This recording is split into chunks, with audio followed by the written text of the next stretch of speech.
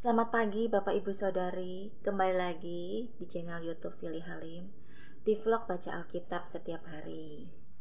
Pagi ini kita akan baca Alkitab kembali di satu Raja-Raja pasal 22 sampai 3 pasal ya. 22, 23, 24 sampai 24 sampai 24 pasal. Tunggu sebentar. Apa ini udah habis ya? Oh sampai. Oh. Oh goodness. Ternyata ini hanya satu pasal aja. Saya kemarin nggak ngeliat lagi ya bapak ibu ya. Ya sudah hari ini khusus spesial ya di pasal 22 ya. Kita akan mulai berdoa. Jadi ini cukup pendek juga ya durasinya ya bapak ibu. Karena nggak terlalu banyak ya satu pasal aja pasal 22 wah ada spesial nih pasti ya dari Tuhan ya. Kita mau berdoa dulu ya. Tuhan Yesus terima kasih buat firman-Mu. Ini Tuhan yang membuat kami semakin rindu. Hari demi hari firman yang kami baca yang kami dengar membuat kami semakin haus dan rindu membaca dan mendengar firman-Mu. Mendengar toko-toko yang ada di di, di Alkitab ini Tuhan membuat kami terus Tuhan untuk belajar. Dan membuat kami terus ingin tahu apa isi firman Tuhan ini Tuhan. Dan biarlah Tuhan kami bukan hanya sekedar membaca atau mengerti firman tetapi biarlah kami menjadi pelakunya Tuhan Yesus menjadi pelaku firman-Mu. Di dalam nama Tuhan Yesus mengalir dalam hidup kami Tuhan. Curahan rohmu Tuhan dalam hidup kami. Haleluya amin pasal 22 ya ini hanya satu pasal. Saya kemarin nggak cek-cek lagi bapak ibu. Cuman taunya tiga pasal tiga pasal ya. Jadi hanya ya satu ini ternyata dua-dua nanti di berikutnya ada di dua raja-raja ya. Kita nih abisi dulu di satu raja-raja ya. Pasal 22 pasal terakhir di satu raja-raja ya. Ahab memerangi Ramot Gilead Nabi Tuhan berhadapan dengan nabi-nabi palsu. Tiga tahun lamanya orang tinggal aman dengan tidak ada perang antara Aram dan Israel. Pada tahun yang ketiga pergilah Yosafat, Raja Yehuda, kepada Raja Israel. Berkatalah Raja Israel kepada pegawai-pegawainya, Tahukah kamu bahwa Ramot Gilead sebenarnya milik kita. Tetapi kita tinggal diam saja dan tidak merebutnya dari tangan raja negeri Aram. Lalu katanya kepada Yosafat, Maukah engkau pergi bersama-sama aku untuk memerangi Ramot Gilead? Jawab Yosafat kepada Raja Israel, kita sama-sama aku dan engkau, rakyatku dan rakyatmu, kudaku dan kudamu. Tetapi Yosafat berkata kepada Raja Israel, Baiklah, tanyakan dahulu firman Tuhan. Lalu Raja Israel mengumpulkan para nabi, kira-kira 400 orang banyaknya. Kemudian bertanyalah ia kepada mereka, Apakah aku boleh pergi berperang melawan Ramot Gilead? Atau aku membatalkannya? Jawab mereka, majulah. Tuhan akan menyerahkannya ke dalam tangan raja. Tetapi Yosafat bertanya, tidak adakah lagi di sini seorang nabi Tuhan? Supaya dengan perantaraannya kita dapat meminta petunjuk. Maaf ya Bapak Ibu saya tahu ini apa? Kaki saya kering nih. Anak-anak Bapak Ibu. Jawab Israel kepada Yosafat, masih ada seorang lagi yang dengan perantaraannya dapat diminta petunjuk Tuhan. Tetapi aku membenci dia, sebab tidak pernah ia menubuatkan yang baik tentang aku, melainkan malah petaka. Orang itu ialah Mika bin Yimla. Kata Yosafat, janganlah raja berkata demikian Kemudian Raja Israel memanggil seorang pegawai istana. Katanya, jemputlah Mika bin Yimla dengan segera. Sementara Raja Israel dan Yosafat Raja Yehuda duduk masing-masing di atas tahtanya dengan pakaian kebesaran. Di suatu tempat pengirikan di depan pintu gerbang Samaria. Sedang semua nabi itu bernubuat di depan mereka.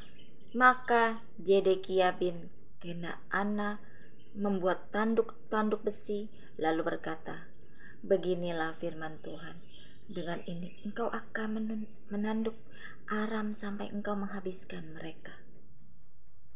Juga semua nabi itu bernubuat demikian katanya. Majulah ke Ramot Gilead dan engkau akan beruntung. Tuhan akan menyerahkannya ke dalam tangan raja. Suruhan yang pergi memanggil Mika itu berkata kepadanya, Ketahuilah nabi-nabi itu sudah sepakat meramalkan yang baik bagi raja. Hendaklah engkau juga berbicara seperti salah seorang daripada mereka dan meramalkan yang baik.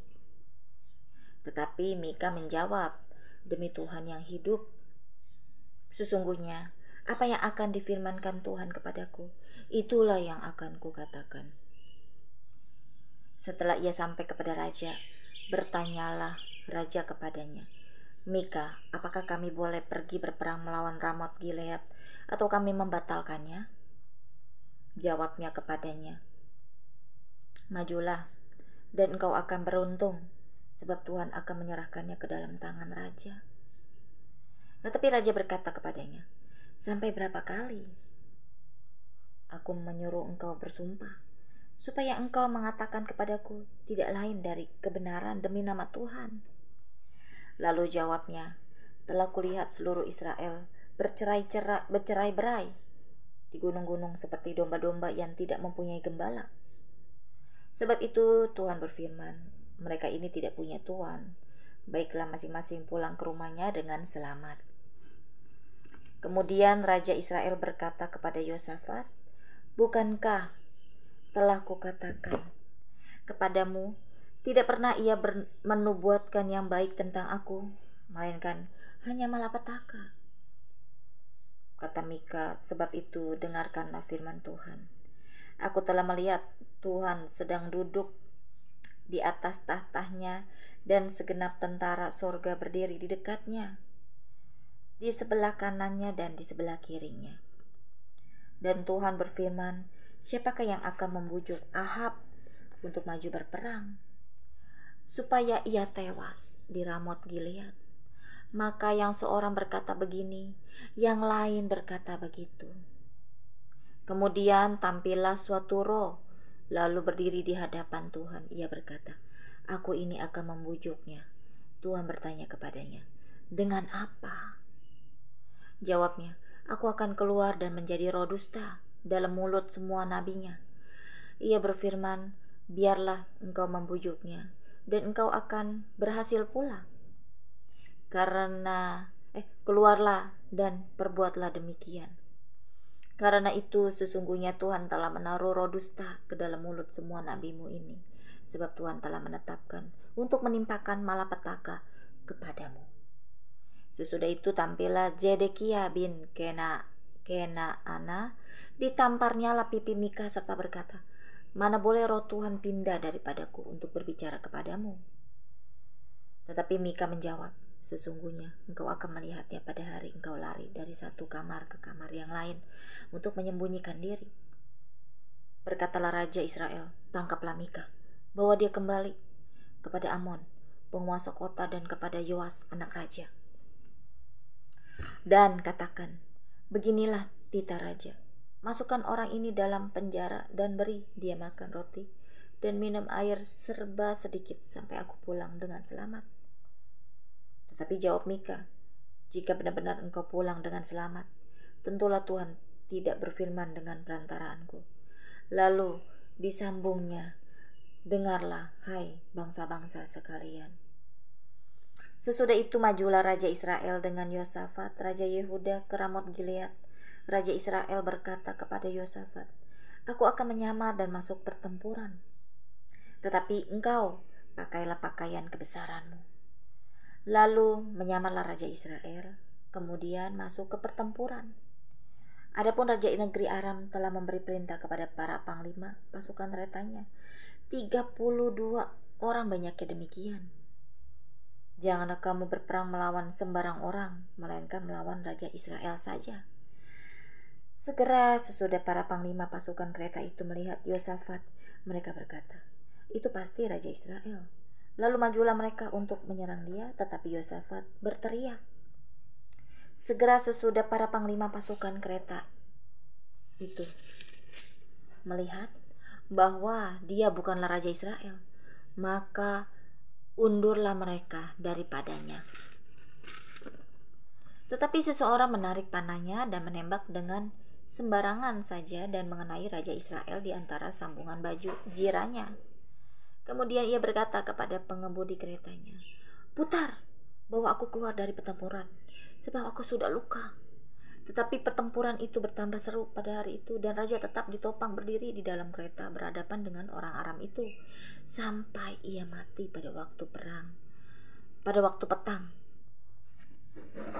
Darah, darahnya mengalir dari lukanya ke dalam palung kereta. Kira-kira pada waktu matahari terbenam, terdengarlah teriakan di sepanjang barisan tentara itu, masing-masing ke kotanya, masing-masing ke negerinya. Raja sudah mati, maka pulanglah mereka ke Samaria. Lalu mereka menguburkan raja di Samaria. Ketika kereta itu dicuci di tepi telaga Samaria, maka darah raja dijilat anjing. Sedang perempuan-perempuan sundal mandi di tempat itu sesuai dengan firman Tuhan yang telah diucapkannya. Selebihnya dari riwayat Ahab dan segala yang dilakukannya serta istana gading dan segala kota yang didirikannya. Bukankah semuanya itu tertulis dalam kitab sejarah raja-raja Israel? Demikianlah Ahab mendapat perhentian bersama-sama dengan nenek moyangnya, maka Ahajia anaknya menjadi raja menggantikan dia. Yosafat raja Yehuda. Yosafat anak Asa menjadi raja atas Yehuda dalam tahun keempat zaman Ahab, raja Israel. Yosafat berumur 35 tahun pada waktu ia menjadi raja dan 25 tahun lamanya ia memerintah di Yerusalem. Nama ibunya ialah Ajuba, anak Silhi. Ia hidup mengikuti jejak Asa ayahnya, ia tidak menyimpang daripadanya dan melakukan apa yang benar di mata Tuhan. Hanya bukit-bukit pengorbanan tidak dijauhkannya. Orang masih mempersembahkan dan membakar korban di bukit-bukit itu. Dan Yosafat hidup dalam damai dengan Raja Israel. Selebihnya dari riwayat Yosafat dan kepahlawanan yang dilakukannya dan bagaimana ia berperang Bukankah semuanya itu tertulis dalam kitab sejarah Raja-Raja Yehuda? Dan sisa pelacuran bakti yang masih tinggal dalam zaman Asa ayahnya, dihapuskannya dari negeri itu. Tidak ada raja di Edom, karena itu yang menjadi raja ialah seorang kepala daerah. Yosafat membuat kapal-kapal Tarsis untuk pergi ke Ofir mengambil emas. Tetapi kapal-kapal itu tidak jadi pergi ke sana, sebab kapal-kapal itu pecah di Ejion Geber. Pada waktu itu Ahasia, anak Ahab, berkata kepada Yosafat, Baiklah anak buahku, pergi bersama-sama anak buahmu dengan kapal-kapal itu. Tetapi Yosafat tidak mau. Kemudian Yosafat mendapat perhentian bersama-sama dengan nenek moyangnya. Dan ia dikuburkan di samping nenek moyangnya di kota Daud bapak leluhurnya. Maka Yoram anaknya menjadi raja menggantikan dia. Ahazia, Ahasia raja Israel. Ahasia anak Ahab menjadi raja atas Israel.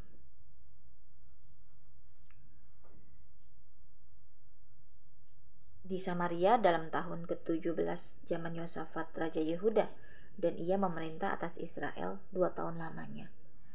Ia melakukan apa yang jahat di mata Tuhan dan hidup menurut kelakuan ayahnya dan ibunya di Yerobeam bin Nebat yang telah mengakibatkan orang Israel berdosa.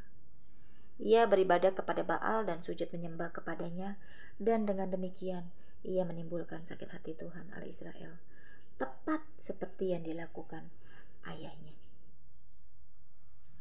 Amin ya Bapak Ibu.